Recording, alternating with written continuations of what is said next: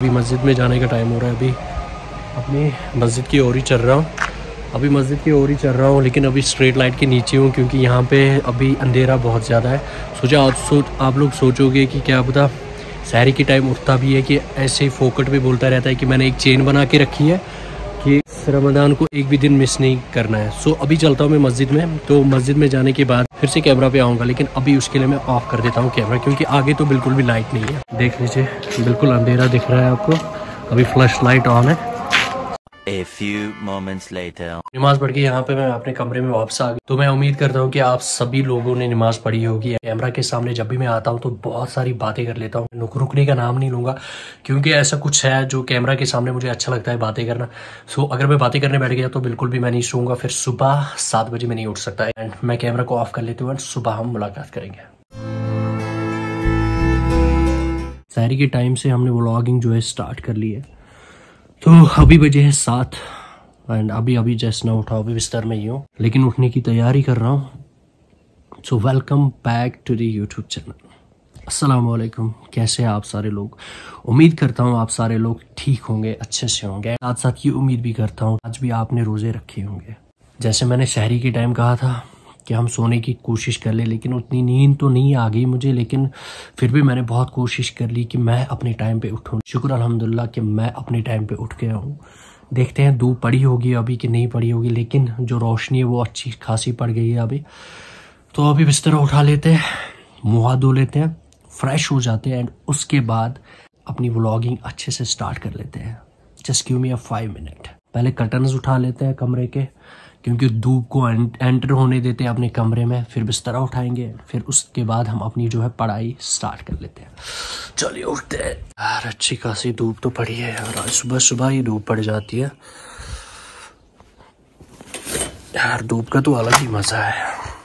आप मानो या ना मानो, धूप में अलग ही मज़ा है यार। वाह ये है स्पॉट ऑफ़ सनराइज़ इधर से भी खिड़की खोल लेते हैं। उधर से भी थोड़ी कर्टन्स उठा लेते हैं ताकि रोशनी अच्छे से मेरे इस स्वीट कमरे में पड़ जाए। अब करते काम इस तरह उठा लेते हैं।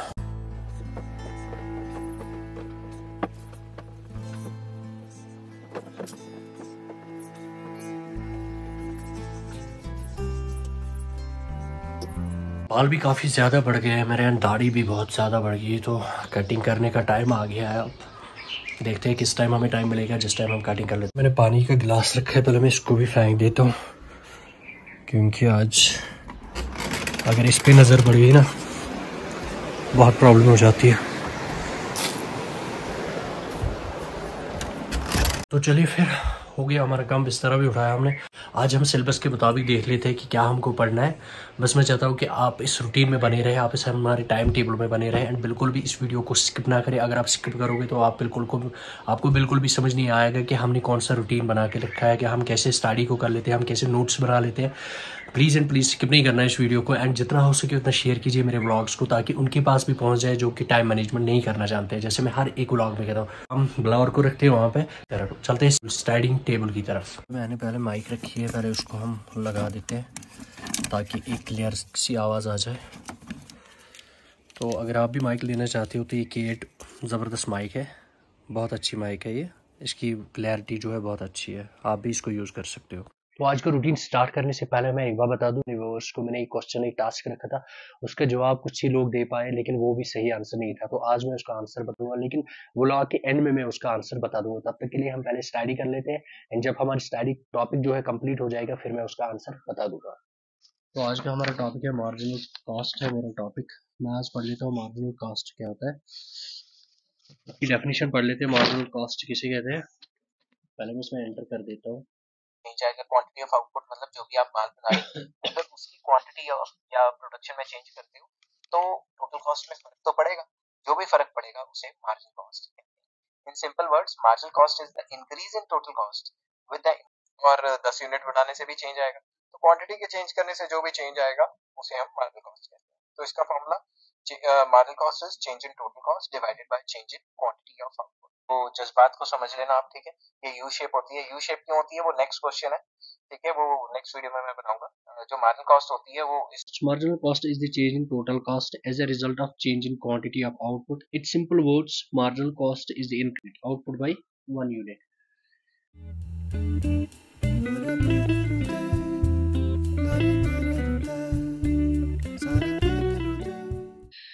हो गया डन हमारा आज का भी टॉपिक जो कल का भी टॉपिक हमने कंप्लीट अपने टाइम से कर दिया। 2024 में एक गोल रखो कि आपको करना है, आपको जिस चीज़ की भी स्टडी कर लेनी है, कर लेनी है, उसके लिए आपको स्टैंड लेना पड़ेगा। सो टाइम टेबल अपना बना लो। जैसे मैंने टाइम टेबल बनाया, जिसको नहीं पता है, वो मेरे डिस्क्रिप्शन में जो है टाइम टेबल की पहले से दे रखी है। तो आप उसको चेक कर सकते हो और आप वहाँ से भी सीख सकते हो कि आप अपने टाइम के हिसाब से किस टाइम क्या क्या काम रखोगे, किस टाइम कौन कौन सा टास्क रखोगे। रही बात, जैसे मैंने ब्लॉग के पहले में कहा था कि मैं, मैंने जो टास्क दिया था अपने व्यूवर्स को पढ़ने के बाद में हर हमेशा अपने व्यूवर्स को एक टास्क देता हूँ, एक टास्क देता हूँ, एक क्वेश्चन देता हूँ। कि मैं चाहता हूँ कि कम से कम वो भी इससे थोड़ा सा मतलब एडिक्शन हो जाएगी एंड वो भी स्टार्ट करने लगेंगे थोड़ा थोड़ा सा शायद मुझसे मोटिवेट हो जाएँगे। तो मैं तो अपने व्यूअर्स से बहुत ज़्यादा मोटिवेट होता हूँ। जब भी वो मुझे कमेंट करते हैं, मुझे बहुत अच्छा लगता है। एंड जब भी वो मुझे कमेंट में लिखते हैं कि ऐसे ऐसे ऐड करना है, आप, आपको वैसे वैसे करना है तो मुझे बहुत अच्छा लगता है उस टाइम एंड धूप में चलते हैं। तो हाँ जी, करते हैं बात। टास्क की जो मैंने अपने व्यूवर्स को क्वेश्चन दिया था, उसको मैंने बोला था, उनको मैंने बोला था, इसका आंसर दीजिए। कुछ ही लोगों ने उनका आंसर दिया है, लेकिन वो भी आंसर सही नहीं था। तो आज मैं उसका आंसर बताने वाला हूँ, लेकिन पहले मैं आप लोगों को एक गुड न्यूज़ देना चाहता हूँ कि मैं अब साइकिलिंग भी स्टार्ट कर रहा हूँ। ऑफ़ रोडिंग हम साइकिलिंग भी करेंगे एंड वो ज़बरदस्त इंटरेस्टिंग एनिमेटिक तरीके से वो ब्लॉगिंग स्टार्ट होगी एंड हम साइकिलिंग करेंगे ऑफ़ रोडिंग साइकिलिंग करेंगे। तो जो जो ज्वाइन करना चाहते हैं प्लीज़ मेरे कमेंट सेक्शन में ज़रूर लिखें, उनको हम अपने साथ ज्वाइन करवाएँगे। यही बात टास्क की जो मैंने टास्क दिया था, जो मैंने ये क्वेश्चन बोला था अपने व्यूवर्स को, वो ये क्वेश्चन था कि अगर मार्केट में सेलर कोई भी होगा, अगर मार्केट में सेलर होगा वो अपना प्रोडक्ट्स वो अपने प्रोडक्ट्स क्या है, किसी भी दाम में बेच देंगे। उनका कोई फिक्स्ड रेट नहीं होगा, वो किसी भी दाम में अपने प्रोडक्ट्स बेच देंगे। उसको क्या कहते हैं? तो सिंपली उसका आंसर ये था, उसको मानोपोली मार्केट कहते हैं। उसको मानोपोली मार्केट कहते हैं और कुछ भी नहीं। बहुत ही ज़्यादा सिंपल क्वेश्चन था। चलिए कोई बात नहीं, अब मैं नेक्स्ट टास्क आप लोगों को दे रहा हूँ प्लीज़ इसका आंसर दीजिए। जल्दी से कमेंट सेक्शन में नेक्स्ट टास्क है आपके लिए मार्केट किसे कहते हैं? मार्केट किसे कहते हैं? क्या मार्केट एक पर्टिकुलर प्लेस को कहते हैं? हाँ या ना? ये आप लोगों के लिए टास्क है प्लीज़ इसको कंप्लीट करें एंड जो जो मुझे कमेंट सेक्शन में जल्दी बोलेगा, जो जो मुझे कमेंट सेक्शन में इसका आंसर देगा राइट आंसर देगा, उसका मैं पहला स्क्रीनशॉट जो है अपने ब्लॉग में लगा दूँगा, ये प्रॉमिस है मेरा एंड आज का भी टॉपिक जो है अच्छे से कंप्लीट किया। तो मिलते हैं कल वाले टास्क में, जिसमें हम दूसरा टॉपिक पढ़ेंगे, कल सब्सक्राइब मेरे चैनल अगर आपने पहले से सब्सक्राइब किया तो प्लीज़ शेयर कीजिए मेरे ब्लॉग्स को। कल वाले ब्लॉग में, तब तक के लिए मुझे दीजिए इजाज़त, खुदा हाफिज।